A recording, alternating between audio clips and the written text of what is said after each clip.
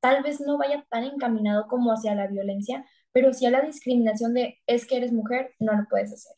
Entonces, sí me gustaría que se hiciera como un cambio en esto, no tanto como hacer que la mujer sea mejor que el hombre, porque pues eso tampoco funcionaría, simplemente que somos un complemento, es 50% hombres, 50% mujeres. Nosotros nos complementamos para hacer de la sociedad un mejor lugar para vivir.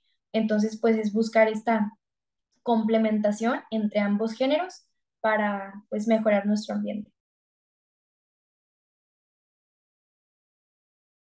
Me gustaría comentar que nosotros o muchísimas personas tenemos el aspecto o la palabra de violencia como si fuera directamente de golpes, de que mi amiga está sufriendo violencia porque está siendo golpeada. No, no solamente es eso, sino que también es muchísimo en el aspecto psicológico.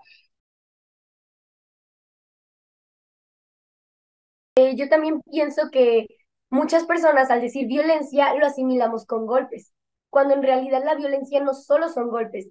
La violencia puede venir desde cualquier tipo de discriminación física, psicológica, verbal, sexual, alguna agresión, insulto, amenaza, porque tú lo podrás decir como un comentario normal, pero tú no sabes cómo la otra persona lo esté tomando.